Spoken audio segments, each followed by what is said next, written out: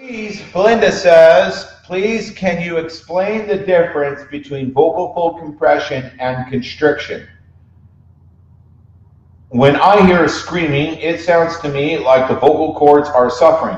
How do you avoid harm in the cords by beginners? If they scream without support, won't they harm their voices? Ah, what a great question. Thanks for that question. It sets me up to like explain something that's super cool. All right, Belinda. First of all, the difference between vocal fold compression and constriction.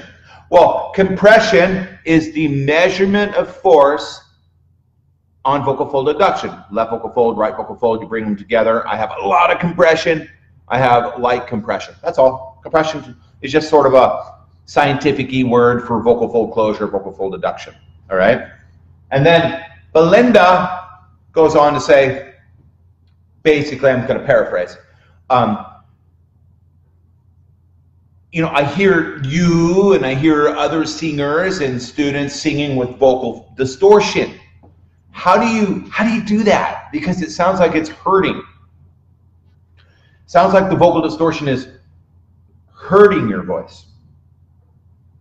So, um, by the way, Belinda is a classical singer. She comes a little bit from the classical world, so this whole contemporary ideas like distortion and stuff are new to her. So that's one reason why that would be confusing because traditionally classical sing classical coaches in that world are gonna go, oh no no can't do distortion, no can't do that. That's gonna hurt you all the time. All right. So here's the deal, Belinda. Truth of the matter is, there are ways to distort the voice that are unhealthy, absolutely, indeed, and they typically involve grinding the tissue. It's all the things that you're concerned about, right? But in the last, mm, gosh, I'd say about 10 years or so, there are new techniques that are rolling out that are now available to singers. Some of those techniques are available in my course, in my book, all right? Vocal distortion techniques.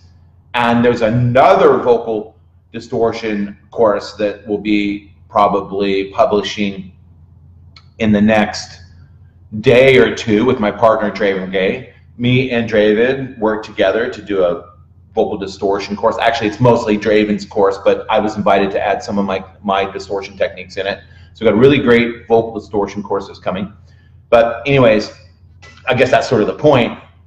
These days, vocal distortion can be trained. Healthy vocal distortion can be trained. Unhealthy vocal distortion involves constricting, squeezing, tissue grinding. Healthier vocal distortion is making noise in the upper vocal tract. All right, so we have the vocal folds here, and we have the upper vocal tract, okay, right above the vocal folds. And when you break up the fractal synergy, the fractal geometry of a nice, clean, tuned vowel, when you break that up, when you disrupt that by adding noise above the vocal folds, you get distortion. Now, to the ear, to the untrained ear, it sounds like it's painful. It sounds like it's, it sounds like tissue grinding distortion because the ear can't really well, my ears can tell, a teacher can tell, somebody who trains this kind of distortion can certainly tell whether it's the healthy kind or not the healthy kind. But somebody who doesn't have experience with it won't be able to know. But isn't that the point? Distortion is a vocal effect. It's it's it's it's its purpose is to be an illusion. When you it's the illusion that I'm grinding tissue. It's the illusion that I'm hurting myself and giving it all I got and giving you the you know all the blood to get the note out. Fine, let the audience think that. That's perfectly fine. It makes it even more amazing than what than, than, than what it actually is. But the truth is, the distortion that I use when I sing, or distortion that any good singer uses consistently over and over and over again through the years, or what Draven and I are teaching in our upcoming distortion course, this is healthy. And I really mean it when I tell you, I can do distortion, certain kinds of distortion all day long, and it won't make me tired. Why? Because it's not the tissue, it's not tissue grinding. It's just noise. It's just spit. and a disruption of the of the um, sound energy in the upper vocal tract. It's benign. It's wind and spit.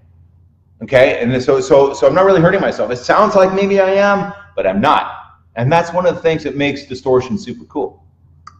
Okay, and the techniques. Um, but you know, training distortion is sort of an advanced thing. It's not something that we recommend for beginners. You want to learn how to warm up, learn how to get into cry mode, learn how to get registered through your vocal break and into your head voice, get good, clean, powerful, boomy uh, notes first, and then begin to flirt with adding distortion.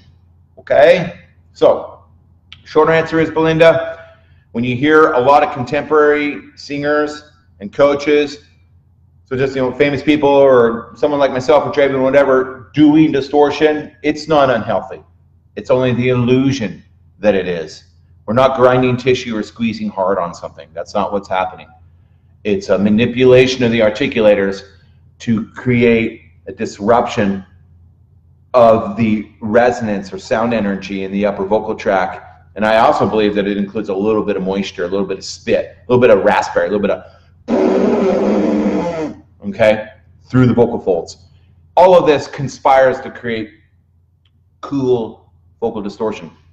Um, in my program, um, there are three kinds of distortion. There is the uncompressed overlay distortion, there's the compressed overlay distortion technique, and then there's the extreme scream distortion, just sort of the screamo stuff um, on an inhale. All right?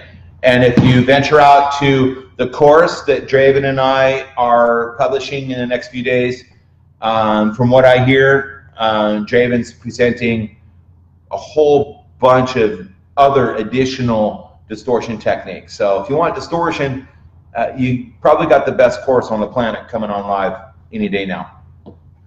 All right. Cool, Belinda. Good question, Belinda. That's an important question.